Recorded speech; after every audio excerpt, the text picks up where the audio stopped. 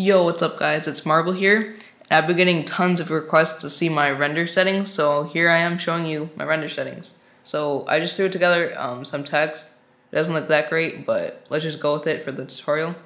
Um, let's just make this quick. Um, go to your, the third tab, these three middle tabs, go to the, the one all the way on the right, render settings. Um, general, always keep that in full render. Um, width, I like to have it at 1920. Oh, wait, hang on. The width to 1920 and the height to 1080 and make sure this is on pixels. And the reason I have it to not like 1280 by 720, the reason I have it like this big is so when you open it into Photoshop, the picture is really big. So if you have to make it like, if you have to resize it, it'll be really high quality because it's really big already. So that's always good. Um, save you're gonna um go to just wherever you want it. Pick somewhere. Um, I'm not gonna do that since I'm not rendering this out. But you, all you have to do is go to desktop or wherever you want and click save. I'm clicking cancel for now. Um, format, format, PNG. Keep always keep that on PNG, and alpha channel.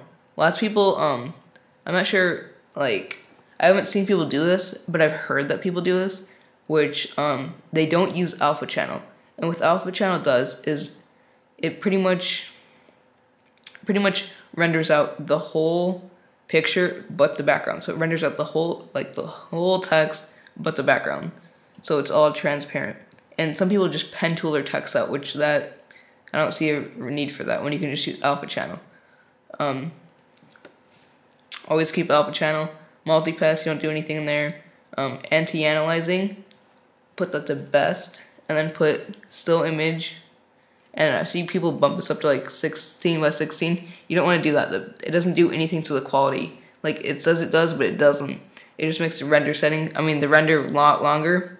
So you're gonna want to put 4x4, 1b1, 1, 1 by 1, 4x4.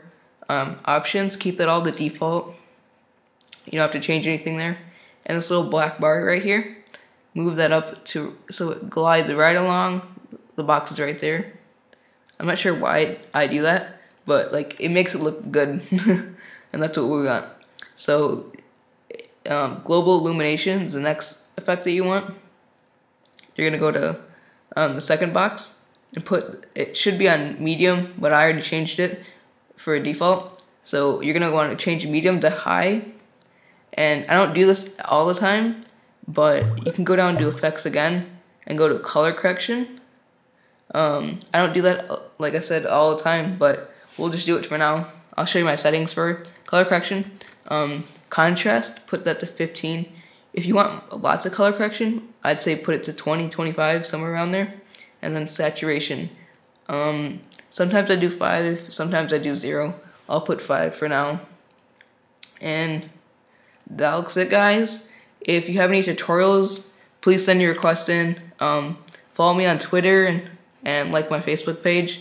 And what I want you to do is go over to my friend's channel, MimzyStyle. He's my best friend on for doing GFX. And please go sub subscribe to him. Um, like I said, he's amazing. Go check out his stuff. And I guess that's it, guys. Peace.